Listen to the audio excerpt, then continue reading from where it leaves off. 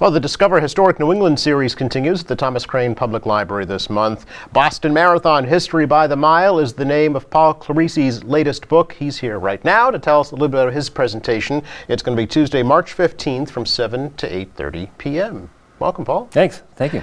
Wow. How many marathons have you run? I've run 43, uh, Boston 23 times. Yeah. Okay. Yeah, the knees were good. The knees held up. do them while you can. That's what you do. um, this is not your first book. No, this is my uh, second one. The first one was the history of the Greater Boston Track Club, right. which a lot of the runners who had won Boston in the 70s came from that club. Bill Rodgers, Alberto Salazar. And then I just finished the history of the Falmouth Road Race. Um, the Boston Marathon uh, is pretty popular. A lot of people like it, which I'm glad. Yeah. yeah. What led up to this work? Well, actually, it's funny. Running it for 23 years, and I've covered it for the media for almost 30 years. There's so many stories that I've had in my head. the statues, the landmarks, all the great history that when I did write stories for magazines, I would all pull out a nice little story. And people kept saying, my friends saying, put, you got to put this all in like one guide. That was like a souvenir, someone told me.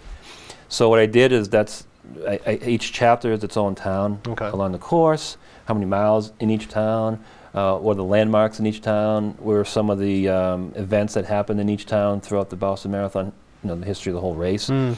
In a nice readable way, it's like a fun has all these tidbits and behind the scenes things and you know myths and legends, as they say. Mm -hmm, so mm -hmm. uh, it was it was very easy to write because in my head I joked with somebody. It took me 23 years to write it because it was after you were forming it all along. You just like, did, yeah, didn't know it. Yeah. It's always in my head somewhere. Yeah, it's fun. Is that when it goes back? Does it start 23 years ago to to research? Um, stories, yeah, because when when you run the marathon, uh, most people who run it, other than the elite, you know, so people like me, the, the average runners, is you don't really set out to go and running 26 miles you break it down maybe per town or okay. per five kilometers or something like that. And I remember when I was running it, I would look forward to things along the course that would make it easier for mm -hmm. me. You know, all the statues that was in uh, Ashland or Hopkinton, or the uh, there's a gentleman on a flatbed in Natick that always sings like Neil Diamond tunes and Vegas tunes. Uh, the women at Wellesley College, mm, course, Johnny yeah. Kelley statues. So what you do in your mind, and if you have family along the way, sure, you have these little landmarks and little things. Okay, I'm going to run to this point you know, and get water, run to this point. So that's okay. part of the book that people can read um, or go right to a town that they want first and they'll read that. So it's, it's an interesting little, there's tons of stories that people know that you have to put in um, along the course, but then there's a lot of research to dig up some things that uh, I think people enjoy. When was your last uh, Boston? The last one was 2012 and it was like 90 something, it was a tough. Fiercely hot that the day. BAA yeah. even said all the official runners can defer to 2013 if you think you may not have a problem in 2012. Right. Which I should have. I mean, it was a horrible day. I, I remember going through Wellesley and the bank had the time temperature and it was 91 degrees. Oof. And I'm like, I didn't really want to know that. You yeah. Know, it was just a tough. If you went slow, pace yourself, yep. you can do it. Uh, throw out your goal or your first five goals. really? On a hot day like that, don't right. even go for your pace. Don't even push yourself because mm -hmm. you can die. It's a deadly heat yeah. if you don't take care of yourself and hydrate. So it was a tough run, but yeah, 2012, because then I started writing the book. So my deadline was around March or April of 2013 for the uh, Boston Marathon books. I couldn't, you can't do both. Sure. I couldn't train and run, yeah. Okay, so research that was just basically your experiences. Uh, that's where I started. Okay. With all, because I knew which stories I wanted to put in each chapter. You know, so like Natick's chapter or Boston's chapter. Then I would do research and dig out some fun things um, along the way, like Boston. Um, this I remember every year. The Boston Marathon is in Boston for like less than a mile and a half in Boston proper. Interesting. Okay. And the town line, like for the book, I took pictures of each town line entering Wal uh, entering uh, Wellesley, entering different areas. There's no entering Boston. Hmm. And I go, where is this sign? Mm -hmm. I never found it in the 23 years I ran it. I had to drive to find it because I knew kind of where it was, right before the Mass Pike. Where you go over the Mass Pike, get like a mile to go from yeah. Kenmore Square. Right before the Mass Pike and the church is a little, and I have a picture in the book, it says Boston Line. And it's like a street um, sign. Or just a green sign? On top of St. Mary's uh, street sign. Oh, all right. So it's, it's, so it's not the big white no, welcome to Boston? It says Boston Line. Okay. And when I do lectures and things, I have that up as one of the pictures, and I ask people, why do I have this picture? And once in a while, someone will go, is that the entering Boston? it's just it's just a fun little tidbit so people come from out of town yeah. and look for it, you know, yeah. have it in their head. Yeah, I just, I never saw it when I ran and I was looking.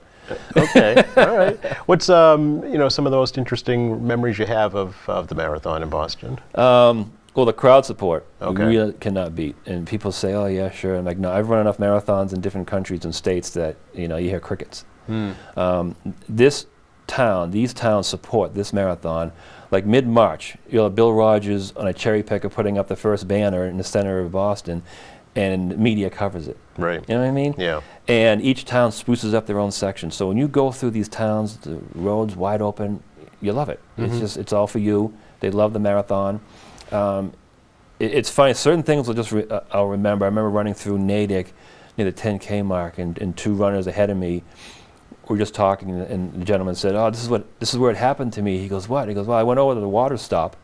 And someone came from my left and hit me, and I fell and broke my collarbone on the curb. This is in the middle of the race. Yeah. Wow. So that really stuck with me. So then these are stories you don't hear about. Yeah. no, from Okay. that point on, when I go to water stop, I kind of put my arm out. Okay. I'm going, you know, just to look, because you know, I'm a big guy, but someone could knock me over, break a collarbone. All my training, Yeah. you just you just don't know. Yeah. So you do have a history of, of running, of, of uh, athletics? Uh, yeah, in Walpole High School, I started running there, track and field there, Okay. and basketball, and then just did all little races around here. Quincy is great for races. I've done so much in Quincy. The old Deegan race down at the stadium. Uh, it, Quincy is really good for running. Um, uh, Anything in the book about Quincy? Um, well, I feature Patty, uh, Patty Lyons. Um, actually, in 1919, Carl Linder from Quincy won the Boston Marathon, and he beat Willie Wick in second place, who was also from Quincy. What are the chances? Yeah, and um, Of what? T- tens of thousands. yeah, so the top two in 1919 were from Quincy, Wow. and Carl was a, was a New England uh, javelin track and field star in this area, and from I think from 1917 to 1928, Carl Linder came in uh, seventh or better nine times. Wow. Nine top seven. That's consistency. That's very good. Yeah. Um, but I always think of Patty Dillon. Uh, she married Dan Dillon, one of our great uh, runners. Uh, as Patty Lyons, she grew up in Quincy. And she went to the Quincy Y. Uh, she worked at the Quincy Hospital. Um, she was getting overweight and smoking, and she wanted to change her life. She was like 22 or 23 or so. And the guys at the YMCA, this is before women were allowed to run in races, uh, the Amateur Athletic Union, the governing body of all races, not just Boston, didn't allow women to run. So prior to that, um, she started running. Uh, well, 1972, when women were allowed to run, um, she was able to go into races and run. She kind of benefited from that. But prior to that, you couldn't. But men, I mean, some certain people still didn't, you know, kind of uneasy. So the early 70s, mid 70s. But the, the men at the Quincy YMCA and the Quincy running clubs welcomed her. Said, "Yeah, sure, come on, run with us." Changed which was her nice. life, Which yeah. was changed her life. She did a few laps around the cemetery, and um, she read somewhere you have to wear comfortable shoes. So she got those old uh, Earth shoes that have Mm-hmm. like a thick sole. You know, if you're a certain age, you don't know what I'm talking about. But um, her legs were killing her, and she ran really well. Yeah. Um, the Quincy guys were training for Boston. She goes, "What's that?" And they were telling her.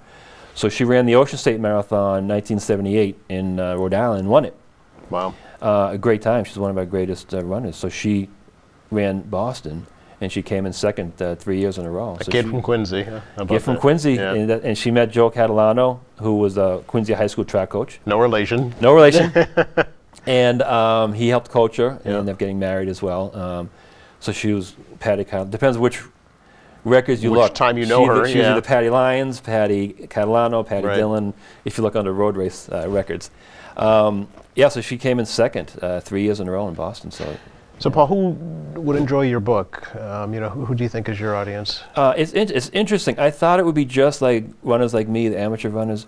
But when I write for um, magazines and stuff, I talk to the top elite athletes, and some of them have bought it and read it, especially ones who live out of state, Yeah. because they love to know about the history. Uh, Oh, all I just, I just, i- From a runner's perspective. yeah, Yeah. because I've run it and covered it, so they love Right. the crossover, and th- some of the, the runners love the history uh, that they read about. You know, because They can relate, right? Yeah, they can relate to it. Sure. And then I did a race in uh, Ashland a couple of years ago, Ashland, um, where the race Boston Marathon actually started in 1897. Oh, I didn't know that. Okay. Yeah, the first two. Not uh, Hopkinton? Uh, no, the Oh. first 24 years, tw- well, from 19, 1897 to 1923, it was in Ashland. Then Oh. it moved to Hopkinton when they adjusted the courses. Okay.